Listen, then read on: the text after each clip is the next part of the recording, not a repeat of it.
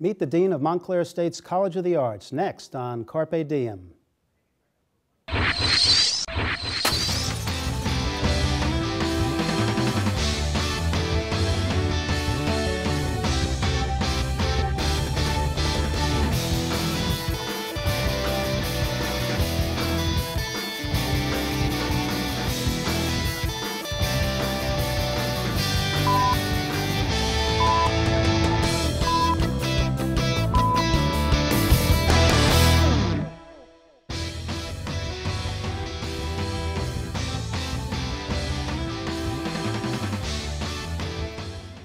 I'm Mark Rosenwig, Assistant Professor of Television and Digital Media at Montclair State University. Our guest on this edition of Carpe Diem is Dan Gurskis, Dean of MSU's College of the Arts. He arrived at Montclair State last summer from Brooklyn College, where he was a professor and chair of the Department of Film and special assistant to the president. Gurskis has held creative and management positions in film, television, theater, and advertising. He's an Emmy Award winner and has written numerous screenplays for television. Dan, welcome to the program and welcome to our campus. Thanks. Glad to be here. Tell us how it all started for you. When did you get interested in, in film, television, and media? How young were you, and uh, what, what sparked it all? Well, my original interest was in theater, like a lot of kids, and um, I did that for quite a bit of time. Uh, when I got to the end of my four years in college, I was applying to uh, graduate programs in film and graduate programs in theater and I was uh, accepted at uh, two institutions. Uh, one of which in film told me that they would tell me how much money they would give me after I accepted, and the other, uh, Brandeis, where I actually ended up going, told me up front. And so um, I come from a background that is not uh, uh, is modest, and so the finances determined that initial step. You, you weren't uh, like Steven Spielberg, though, sitting in the basement making these little films in high school or anything like uh, that? You know, I did a couple of those, but mm-hmm. they, not with that kind of uh, obsession that he had. Mm-hmm. and so, really, what happened was uh, after I'd been in the theater for a while, uh, I got an agent, and uh, my agent said to me, You can continue to write plays, I'll be happy to represent you, or you could actually make a living. And, and I said, How do you do that? And he said, Well, TV and film, and that's what brought me into that. So how would, how would you explain the differences to us between what you've done in TV, what you've done in film with screenplays and so on, and the different formats, and, and can you mix and match and, and go back and forth between the two easily? Well, primarily I've always written for long form, so the, the stuff that I did for TV, with the exception of something like the documentary on Jimmy Stewart, uh, really was very much like a film. It, you know, it was uh, 90 minutes, 120 minutes for HBO or for Showtime uh, and shot one camera as we would uh, shoot a film. So really the distinctions between the two for me were not very great. It was essentially working in the same form but in two different media. Now tell us about the Jimmy Stewart documentary that you mentioned because that's an Emmy Award winner, right? It was, and yeah. Tell us how did that all come about? How was it structured? Where did it play, etc.? Yeah, um, I, had, I had been doing some things for HBO and for Cinemax at that time, and uh, who was the, uh, the head of uh, on-air promotion, uh, managed to arrange an interview with Jimmy Stewart. And so she actually did the Jimmy Stewart part of it, and I did all of the other elements and uh, interviewed several critics and, uh, and wrote the script for it. So it was, it, was a, it was a collaborative effort. It ran as a, as a documentary on Cinemax. What kind of interview was he? Was he a good interview? Or? He was well. Yeah. He was great. Was he? Absolutely yeah. great. Uh, he uh, so modest. You know, everything was always as a result of his good luck. It was never uh, anything to do with his talent. Uh, always referring to the fact that he was so blessed. I mean, just a really gracious, uh, gentle person. Because you never know how some of these stars are going to be as interviewees. Uh, Robert De Niro is supposed to be a, a terrible interview.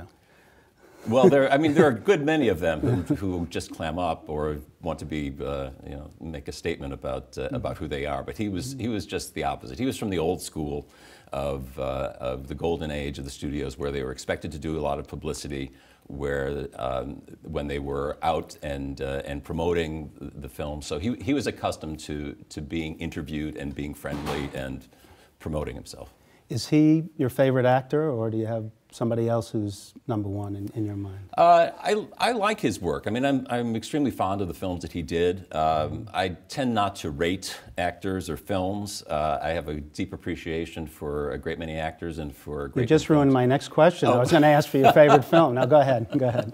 Um, All right, top three. uh, well, it changes on, on any right, given yeah. on any given day. It changes. Yeah. Uh, I have um, a long list of films that I would watch at any time of the day or night. Uh, and uh, when I taught screenwriting, um, I frequently professors will run the film and they'll leave the room.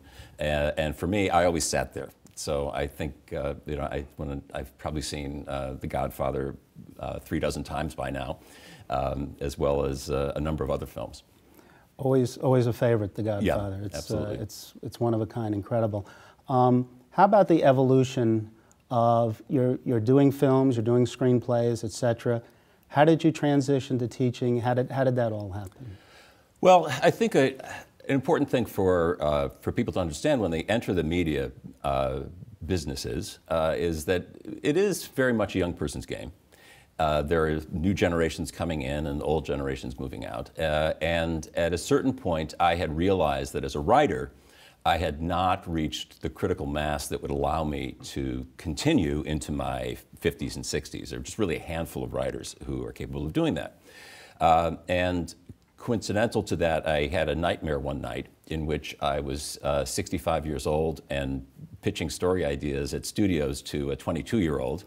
Uh, and uh, I woke up, not in a cold sweat, but I woke up uh, uh, very sobered by that uh, dream. And, and, now having three kids in their 20s, it's, uh, it's even more horrific than it was at that time. Uh, but it occurred to me then that the, my subconscious was telling me that I should probably think about doing something else. Um, I'd done some guest lectures for friends of mine who were in uh, higher education. I enjoyed it. I, uh, I, always enjoyed being in the classroom as a student.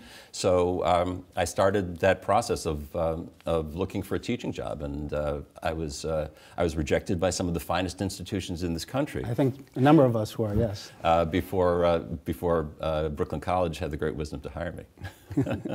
and what about that transition, though? I mean, as far as being able to teach the skills, mentor students, and so on, how difficult was that transition? How hard? A lot of people think, well, I have all these professional skills, I can just go and teach and that's it. But it's work, right?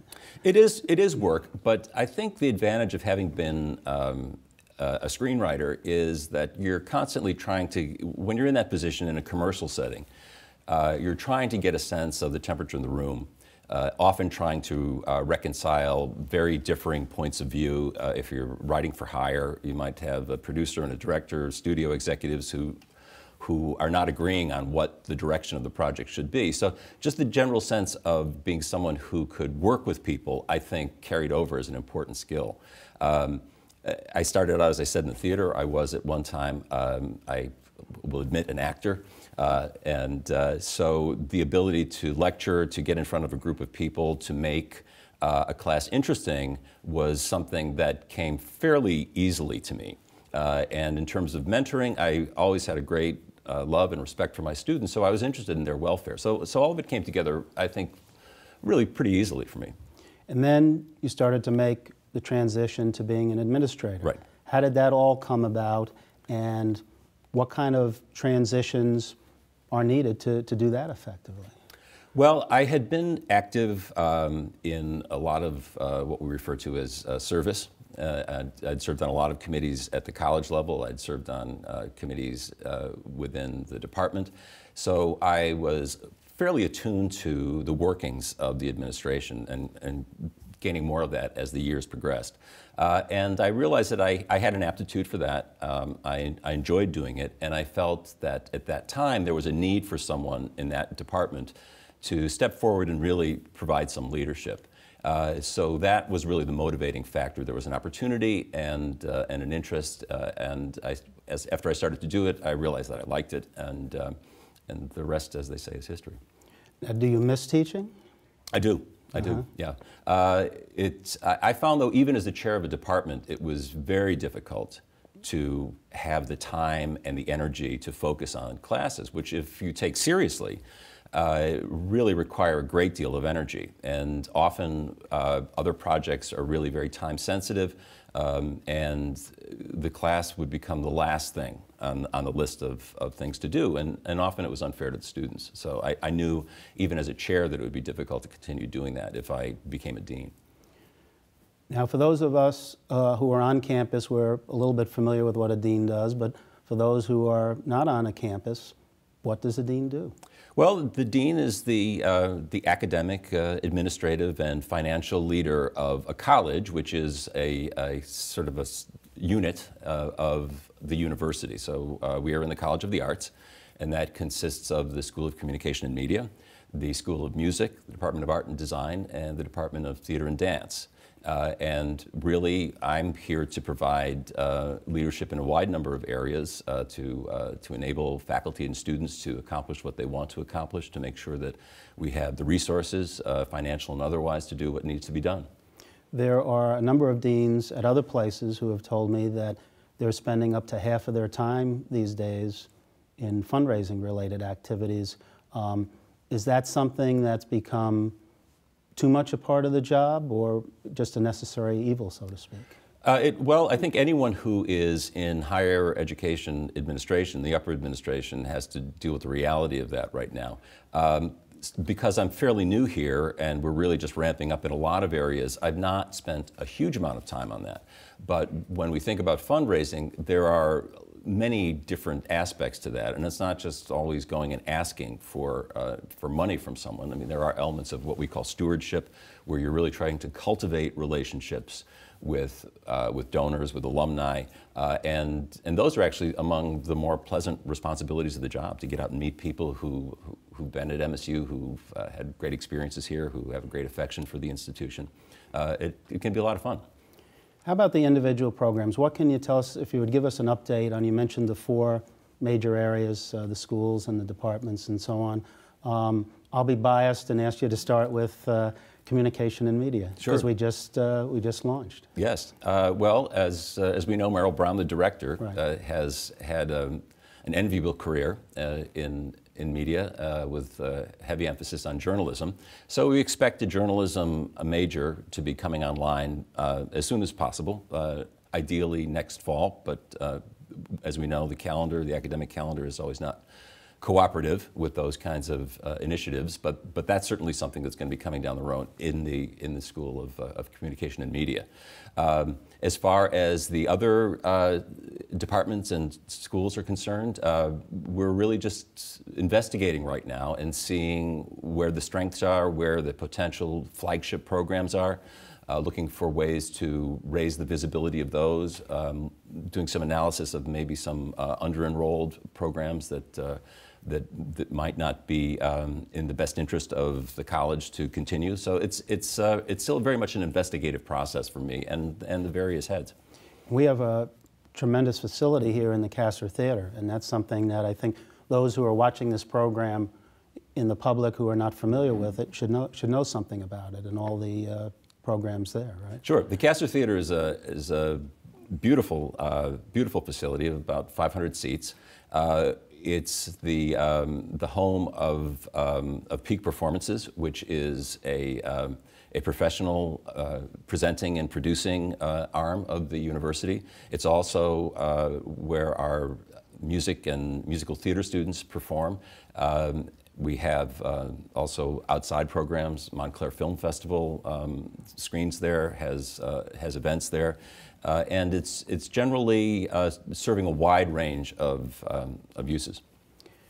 What do you say to students and their parents who are contemplating a career in the arts today? What are the opportunities? What are the difficulties? How do you assess? And I know we're talking about a number of different types of, of art here, but what's, what's your overall view of uh, this as a, a future for students? Well, I, I, people want a return on, on investment. That's I've had three kids, uh, uh, either in college or out of college now, uh, and certainly uh, having paid those tuition bills, um, which I'll continue to pay for many years into the future, uh, I'm, you know, I'm very sensitive to uh, the feeling that they want to get something back. I think there's a danger, though, in thinking of, of college as a quid pro quo. If I do this, it'll end up that I can do this professionally. And, uh, and, and people are making connections which I think are not always, um, always helpful in terms of long range plans. What we want is to help students succeed not just their first year out of college, but their 10th year, their 15th year, their 20th year. So, how do we prepare students for a world that, that doesn't exist?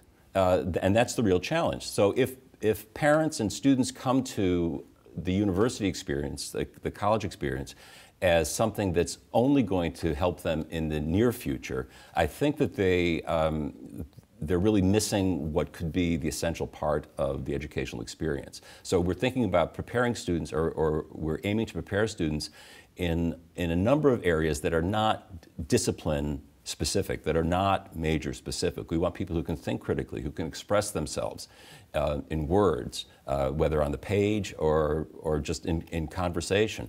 Um, and those skills will serve them five years, 10 years. We want them to be able to learn on their own, to, uh, to learn new ways, to be able to put aside old ways, to be flexible, to collaborate. And those skills really are central to everything that we do in the College of the Arts. So what you're really talking about is setting them up for lifelong learning, right? Right. Yeah. Right. Yeah. We, uh, we, want them to make a living, but we also want them to be able to make a life. Yeah, absolutely. Um, when you look at the futures of these arts individually, what do you see? Because a lot of us, we have internal debates here many times about, you know, what the future of this area of media is going to be, or what the issue, you know, the, the future of television or film and so on.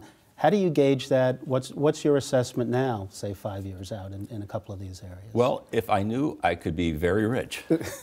and tell me so I can cash in too. Exactly right, yeah. exactly right. Yeah. Um, we don't know. We don't know. Uh, we can see trends. We can see that, um, that for example, uh, print newspapers are, um, are going the way of buggy whips, uh, that they will exist perhaps in some fashion. But, you know, what's become evident is that the new technologies that are available to us are, are in many ways superior. When we're following a storm, like the one that we've just had, having a newspaper come out at 4.30 in the afternoon, if it could be delivered, uh, is not as helpful to people who really need information right now. They need to know that this hurricane is coming. So I don't, although I know traditionalists uh, decry the decline of the print newspaper, um, I think in many respects we're in a better place now with all of these other opportunities. And so I, and I do think that um, in all areas of the arts and media, we're going to be moving more toward um, those kinds of dynamic ways of gaining information and distributing information. Along the lines of uh, Hurricane Sandy, I was in a debate with a colleague the other day who, who keeps saying to me, well, you know, don't you think um, local television stations are going away and so on? I said, well, there's a tremendous public service there, and we see it with Sandy, we see it with other things, we also see it that they've leveled off financially and so on. So it's like part of our job, I think, is to have those internal debates and to try to gauge what's happening. But it's, it's difficult, right? It's, it is. It is. Uh, my wife is in television, uh, television news, uh, and I've I've watched the um, the audiences shrink. But I do think that there has been a bottoming out, uh, uh, and television remains uh, an exceptionally good medium for gaining eyeballs when you want to get a lot of eyeballs. And uh, even though there are fewer now than there were in the past, it's still the place that people go to. Uh, there's no doubt a graying of the audience. If you watch an evening newscast, um, it's kind of like the Republican Party. No, I just no political bias no, whatsoever, just the facts. Right, right. Yeah. Um, but if you look at the kinds of ads that are on the evening news, uh, it's I have to say it's somewhat sobering uh, to to see who they're pitching their um, their commercial wares to. Uh, but having said that, uh, I'd also add that I, I, don't think that television news is going away completely. Uh, I don't think that television is going away completely. Uh, people are making the adjustment now uh, in terms of audiences. The networks understand that their shows are being seen on computer screens, on smartphones, and, and gradually they are coming to embrace that and are less fearful of what that means.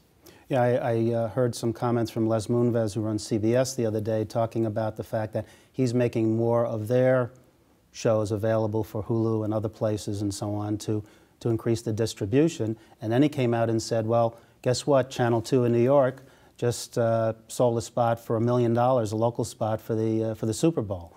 So I think there's still something to be said for that distribution system.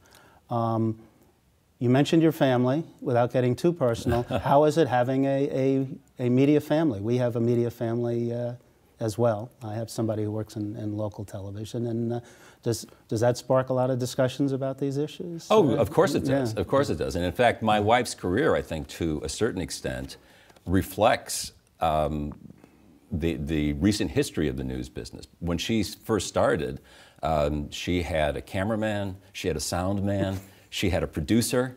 Uh, they would go out and they would do their story and they would shoot it microwave to New York and the editors there would edit it. Then, then pretty soon the producer went away and then not so long after that the sound man went away and then one day the cameraman was told that he was going to have to edit too. So uh, that now is all very self-contained, uh, and my wife actually likes that because she likes to have control over the stories that she's doing and not just sending notes to an editor in New York and hoping that uh, the fonts are right uh, and the names are right. Uh, so it's um, she's she's made the change I think pretty pretty easily. I think, in fairness to our audience, we should identify her as yes. Jennifer McLogan of uh, CBS 2. That's correct. Terrific yep. Uh, we're reporter. Not, we're not trying them. to make it a mystery. and and I, you know, I think that's one of the things we tell students is to prepare yourselves now on all those platforms. That at one time, it was great to be the best editor in the world or the best producer in the world, but now you have to combine all those skills and be on all those platforms. Absolutely. Um, what do, you, what do you see for the, for the future of this school? Do you see more expansion? Are there plans for more expansion? I know that we have a lot of work going on right now for planning for a new facility, a new building. How important is a facility for a school of, of communication? Absolutely, absolutely essential. I mean, it, it, uh, it is uh, part and parcel uh, to the identity of that school. So at the moment, we have people in disparate parts of the campus uh, who come together for meetings uh, and are working out this, uh, this identity for the school. But once they're centralized, once there's a building to walk into, it, it will make a huge difference. The, um, when, when you look at facilities, though, I guess there's, there's a debate as to what you're going to need five to seven years out because we're trying to look in that crystal ball, right? right. And, and how, do you, how do you prepare? I mean, what do you, what do you see at this point? I know when you have a major news component, you need a large newsroom, right? That's right. one of the th- mm-hmm. one of the things. Sure.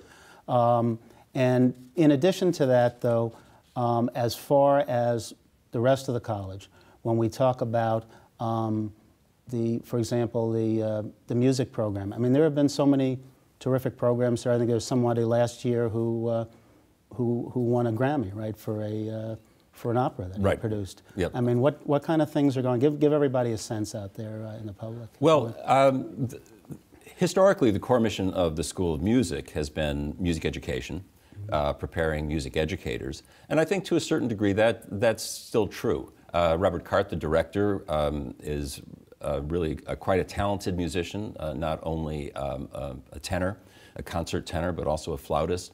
Uh, so he, his interest is bringing up the performing aspects um, in that in that school. So I, I expect that we'll see from Cali um, more of an emphasis on performance, uh, on chamber music. But at the same time, I don't think that that the uh, that the musical education program will be totally abandoned. It's it is central to what they do, and it's uh, I think uh, a very important um, aspect of what they do. Do you think that a lot of people in the arts should be preparing themselves for teaching? That that's really uh, an important part of their of their background? Uh? Well, I think that they should be looking for ways to find applications for for what they're doing. Uh, in addition to music education, there's music, music therapy, for example, uh, and uh, a growing program at both the undergraduate and the graduate level. Very interesting. Uh, in art and design, we have uh, industrial design and, uh, and graphic design. These are, I think, opportunities for students to pursue creative careers where there's a real need. Now, there is a, I, I think it's fair to say, a labor of love that you were involved in before you left Brooklyn College. Right. And that has to do with the Steiner Studios and, and a project there. Just tell us about it, because I found it very uh, fascinating. Sure. Uh, really, the last five years of my life have been um, occupied in developing this graduate school of cinema, which will be situated in the Steiner Studios, which itself is uh, located at the, in the Brooklyn Navy Yard. Steiner Studios is the largest production facility outside of Los Angeles. They have uh, 10 sound stages at the moment, uh, big commercial sound stages. Uh, their aim is to get up to 30 eventually, which will make them probably the largest production facility in the country. Um, within their campus, there is a 235,000 square foot building that they are developing, and that's where the um, where the, the graduate school of, uh, of cinema is going to be located. That's huge. Um, well, well, not the whole building. Oh, okay, No, okay. It's only going to be about two floors of that. Okay. But uh, there will be uh, three separate degree programs with um, over a dozen different concentrations, and ultimately, when it's up and running, there will be about 425 graduate students going there, in addition to uh, advanced undergraduates who will be shifting between there and the main campus. So it was a, um, an opportunity to develop a site, uh, to do some uh, major fundraising, uh, and to develop a curriculum. And, and at this point, I think they're hoping to get it up and running by, um, by September of 2014. That's exciting. That's very It is. exciting. It's going to be great. But, but we're going to be racing them, right? We are. In, in many ways? We are. In many ways? In many ways. Yeah. What's, um, so when we're sitting here five years from now, what, are- what are we going to, what are we going to say about this uh, school at that point, do you think? Well, we're going to say that it's a, a bit bigger than what it is now. Mm-hmm. We're, uh, the School of Communication Media is in the mid 600s, I think, 647, something like that. Uh-huh. Um, I think it will be closer to um, 1,000 students by then. Uh, I expect that in addition to the journalism program, that there are going to be some uh, other programs that come along the way. Uh, ideally, there'll be some graduate program that, uh, that gains attention, and, and people will start to think of Montclair as a place where, uh, where media education is happening, but also where connections with the media industry are happening. We're, we have our Center for uh, Cooperative Media here, and uh, bringing in a lot of partners. NJTV, uh, WNYC is uh, is taking over the New Jersey Public Radio and um, and running operations out of here. We've got. Um, uh, uh, some some local folks, uh, web uh, sites as well that are being operated out We've done a lot in a short period of time. It's it's really quite impressive. Yeah, It's- it's I wish I could take credit for it. Well, it's, it's exciting to have you here with us uh, to, to help chart the course going forward. Thanks. And uh, thanks for joining us today. Appreciate it. And thank you for watching as well. If you would like information on this or any other edition of Carpe Diem, you can write us at the email address on your screen or call us at 973 655 5158. I'm Mark Rosenwig for all of us at Montclair State University. Thanks for watching Carpe Diem.